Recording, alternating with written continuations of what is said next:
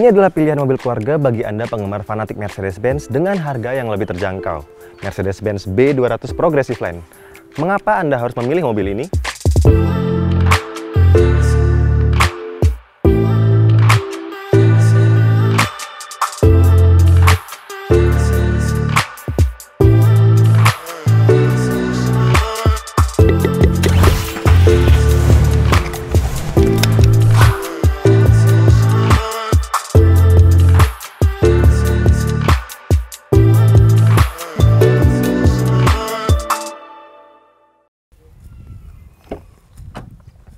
Dengan harga 679 juta rupiah, hanya selisih 4 juta rupiah dari Mercedes-Benz A-Class, B-Class memberikan semua yang Anda butuhkan dalam sebuah mobil keluarga modern. Termasuk ketika kita masuk ke dalam kabin, mobil ini dilengkapi dengan isi akses ketika Anda duduk, dia akan langsung otomatis menyesuaikan dengan posisi mengemudi Anda yang terakhir.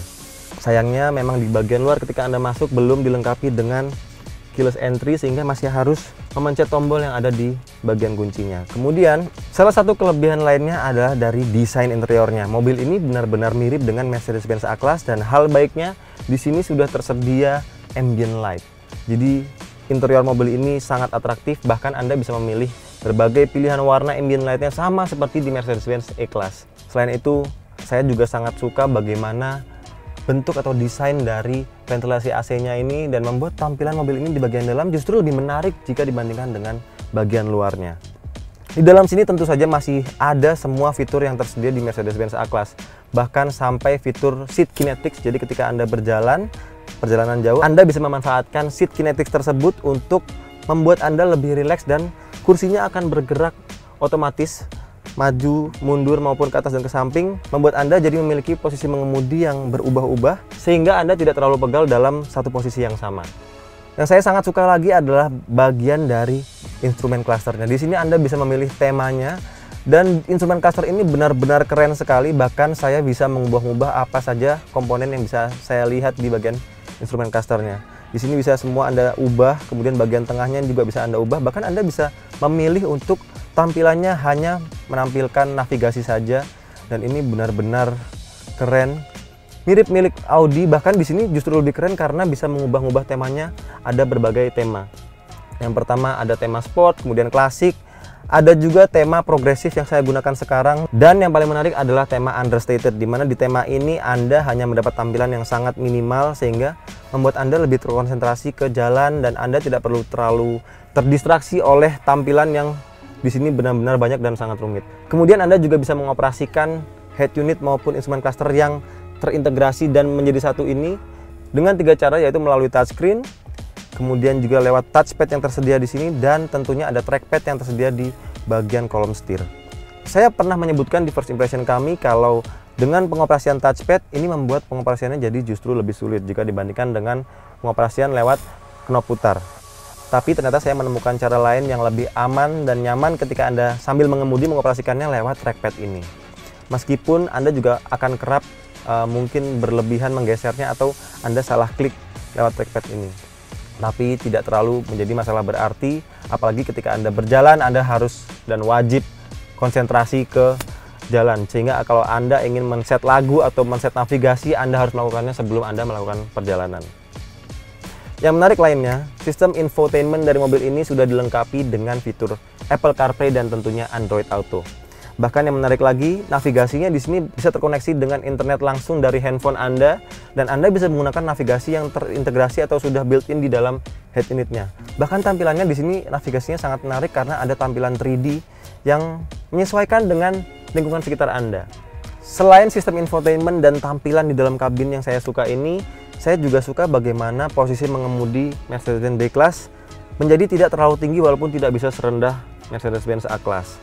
Saya sekarang sudah berada di posisi paling rendah dari Mercedes-Benz B-Class, tapi ini posisinya masih sangat ergonomis dan semuanya ditopang dengan baik, bahkan Anda bisa mengatur panjang pendeknya, bagian penopang paha Anda. Dengan segala kelebihannya di bagian dalam, ada juga beberapa kekurangan dari Mercedes-Benz B-Class terbaru.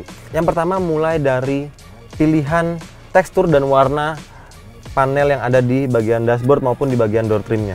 Menurut saya justru ini akan lebih menarik lagi kalau saja menggunakan warna piano black hitam saja akan terlihat lebih eksklusif. Tapi itu opini subjektif dan silahkan sampaikan pendapat Anda bagaimana pendapat Anda mengenai hal ini. Kemudian kekurangan berikutnya, mobil ini seharga 679 juta rupiah dan belum dilengkapi dengan panoramic maupun sunroof.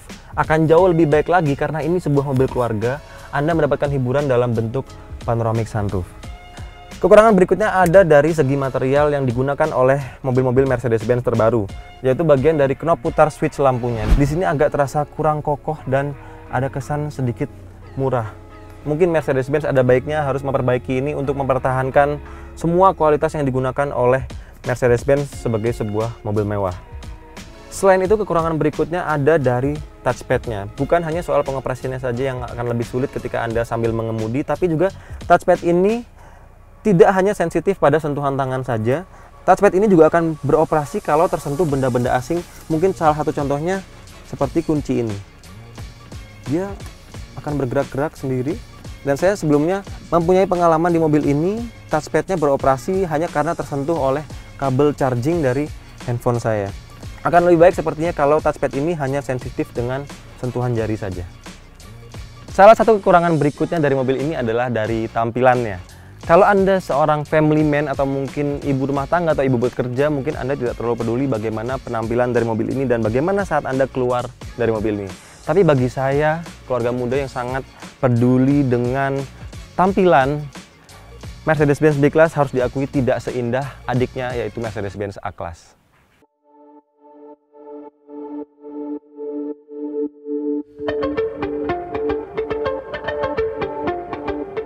Di bagian belakang inilah B-Class terasa jauh lebih baik dari Mercedes-Benz A-Class.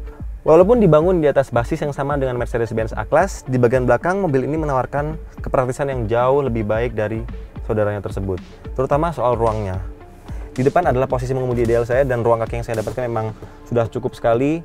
Paha saya juga tertopang dengan baik. Bahkan saya bisa menyelonjorkan kaki saya untuk masuk ke bagian bawah dari kursi depan karena Posisi mengemudi Mercedes-Benz B-Class memang tidak serendah Mercedes-Benz A-Class sehingga ruang untuk kaki saya masuk ke dalam bagian bawahnya ini jauh lebih luas dari Mercedes-Benz A-Class. Kemudian di bagian ruang kepalanya juga jauh lebih baik dari Mercedes-Benz A-Class karena mobil ini memiliki desain yang memang tidak merunduk seperti Mercedes-Benz A-Class. Walaupun konsekuensinya memang tampilan mobil ini jadi tidak semenarik Mercedes-Benz A-Class. Tapi untuk kerebahannya di sini masih sama, tidak terlalu tegak tapi juga tidak terlalu rebah. Ini sudah sangat cukup dan Anda tidak bisa melakukan Pengaturan pada kerebahannya, Anda hanya bisa melipat jok bagian belakang ini untuk menambah kapasitas ketika Anda membawa barang-barang yang lebih banyak lagi.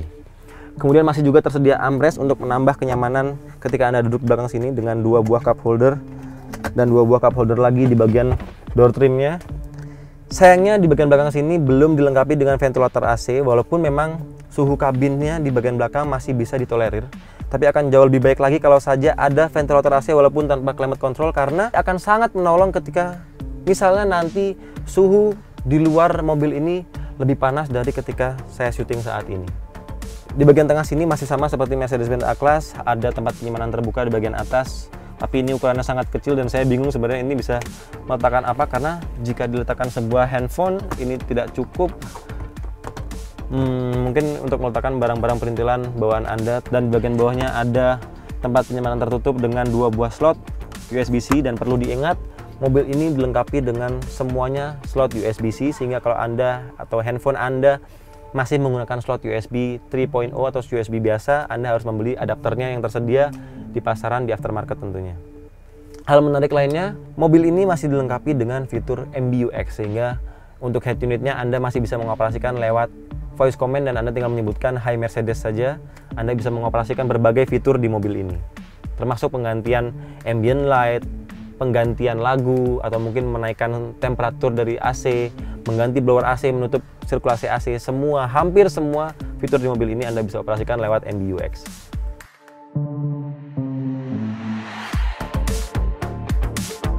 Sebagai sebuah mobil keluarga, Mercedes-Benz B-Class menawarkan kapasitas bagasi yang tentu saja lebih luas jika dibandingkan dengan Mercedes-Benz A-Class. Belum dioperasikan secara elektris, tapi bobot pintu bagasi ini masih tergolong ringan sehingga masih mudah.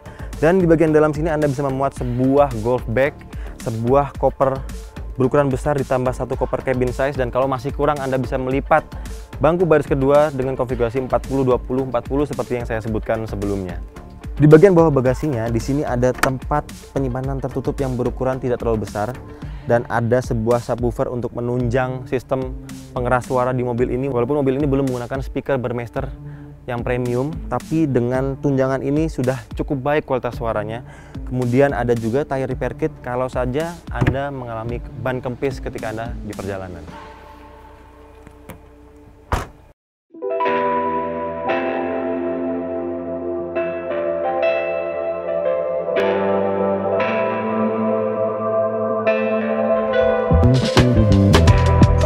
Secara garis besar, rasa mengemudikan Mercedes-Benz B-Class ini sebenarnya tidak terlalu jauh jika harus dibandingkan dengan A-Class. Hanya saja perbedaan utamanya seperti yang saya sebutkan sebelumnya, ada pada posisi mengemudi yang terasa lebih tinggi dari A-Class. Tapi ini juga tidak terlalu jauh rasanya dan masih tergolong ergonomis serta nyaman. Kemudian ada juga yang terasa begitu signifikan yaitu soal bantingan suspensinya. Kalau harus dibandingkan langsung dengan A-Class, bantingan suspensi B-Class ini terasa sedikit lebih empuk. Walaupun ini sebenarnya menggunakan basis yang sama dengan sasis yang sama tapi mobil ini dibekali dengan velg dengan ukuran yang lebih kecil tank 17 lain dengan A-Class yang dibekali dengan ukuran tank 18 sehingga profil ban dari mobil ini akan lebih tebal dan akhirnya membuat bantingan suspensinya jadi terasa sedikit lebih nyaman dari A-Class. Walaupun sebenarnya setting suspensinya tidak jauh berbeda karena B-Class ini juga masih terasa ke arah suspensi yang kaku. Jadi Anda tidak bisa berharap bantingan suspensi B-Class ini terasa empuk. Walaupun mungkin ketika kita membawa empat orang penumpang dan saya sudah mencoba sebelumnya dengan empat orang penumpang bantingan suspensinya jadi terasa lebih nyaman, lebih empuk lagi tanpa terasa suspensinya jadi terasa lemah dan membuat akhirnya pengendalian mobil ini jadi tidak nyaman. Pengendalian mobil ini ketika membawa empat orang tidak terasa berubah, masih sama menyenangkannya ketika saya mengemudi sendiri di mobil ini. Walaupun mungkin ketika Anda harus melewati speed bump yang agak tinggi, Anda harus merasa mungkin bukan hatchback yang jauh lebih nyaman dari A-Class. Tapi tentu saja Mercedes-Benz B-Class ini hatchback keluarga yang lebih praktis dari Mercedes-Benz A-Class.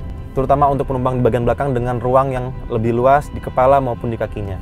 Selain itu, karena mobil ini juga dilengkapi mesin yang sama dengan A-Class, yaitu mesin 1332 cc dibantu turbo 4 silinder jadi mobil ini masih punya performa yang mirip dengan A-Class. Mobil ini bisa berjalan sejauh 1 liter untuk 12,5 km per liter di dalam kota. Kemudian di rute tol dengan kecepatan rata-rata 90 km per jam, mobil ini bisa berjalan bahkan hingga 18,5 km per liter. Dan begitu juga soal akselerasinya. Mercedes-Benz B-Class masih bisa menyelesaikan akselerasi dari 0 ke 100 km per jam di bawah 9 detik. Dan ini angka yang impresif, tepatnya di angka 8,9 detik. Impresif sekali mengingat mobil ini adalah mobil keluarga dengan kepraktisan seperti layaknya mobil keluarga lainnya.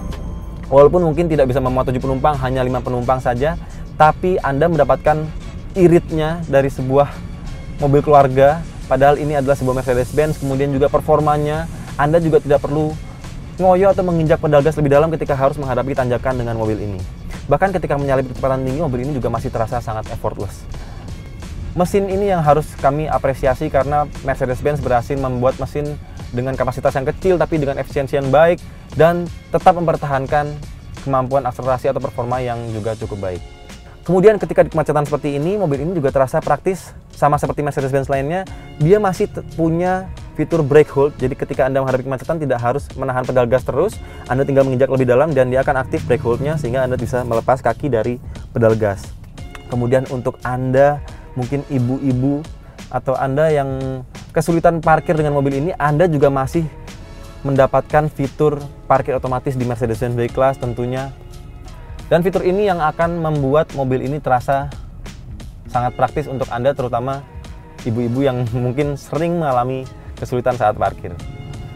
Selain itu tentunya mobil ini juga masih dilengkapi dengan fitur yang sangat lengkap seperti active emergency braking. Jadi ketika Anda terlalu dekat dengan mobil di depan, Anda akan dibantu pengeremannya. Mobil ini akan mengerem otomatis. Kemudian ada juga cruise control, belum adaptif.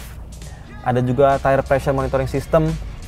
Mobil ini memang terasa sangat praktis sebagai sebuah mobil keluarga, tapi tentunya ada beberapa hal yang harus Anda perhatikan. Pertama, mulai dari ground clearance-nya. Karena untuk sebuah mobil keluarga, mobil ini punya ground clearance yang tidak terlalu tinggi.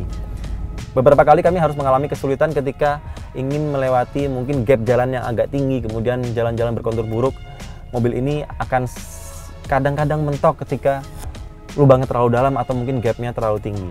Itu yang harus Anda perhatikan. Kemudian tentunya karena ini sebuah Mercedes-Benz, mobil ini juga masih dilengkapi dengan empat mode berkendara. Yang pertama ada mode Eco yang kami manfaatkan untuk menguji bahan bakar dari mobil ini dan ada juga di mode Eco ini fitur auto start stop dari mesinnya yang aktif bahkan sesuai dengan keinginan kami. Saya sangat mengapresiasi bagaimana auto start stop ini bisa dengan pintar menyesuaikan tidak tiba-tiba mati.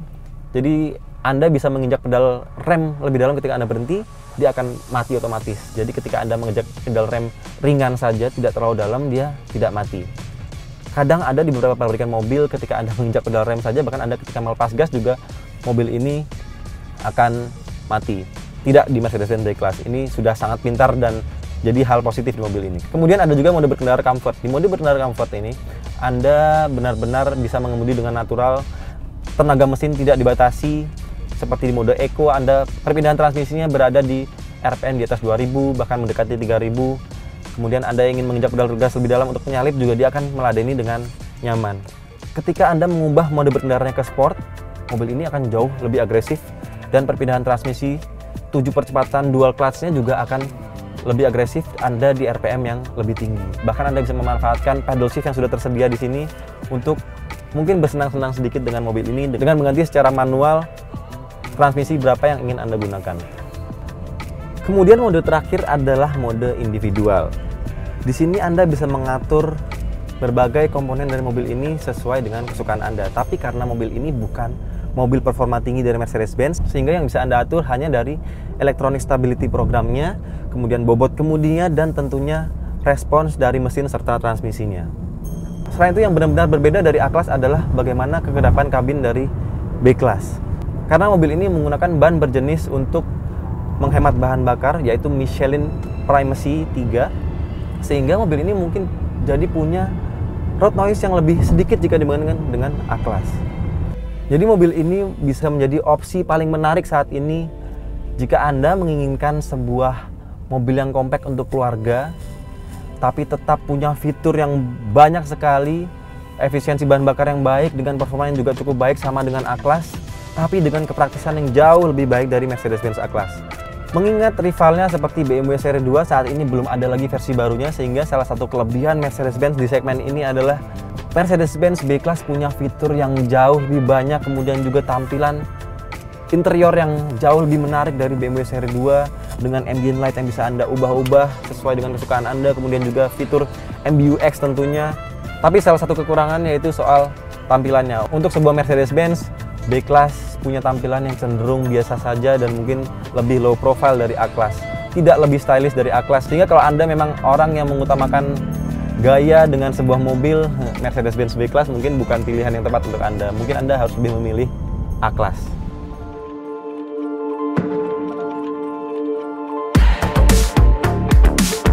Sekian hasil pengujian lengkap kami mengenai Mercedes-Benz B200 Progressive Line terbaru ini. Silahkan sampaikan pendapat Anda mengenai mobil ini di kolom komentar dan jangan lupa klik like jika Anda suka dengan video ini. Pastikan juga Anda subscribe ke channel YouTube Cinta Mobil TV, nyalakan notifikasi agar tidak ketinggalan video-video kami yang terbaru. Jangan lupa juga kunjungi website kami di www.cintamobil.com. Di sana Anda bisa menemukan berbagai pilihan mobil baru maupun bekas, membaca review mobil terbaru, berita hingga tips dan trik seputar mobil. Terima kasih sudah menyaksikan, sampai jumpa di video berikutnya.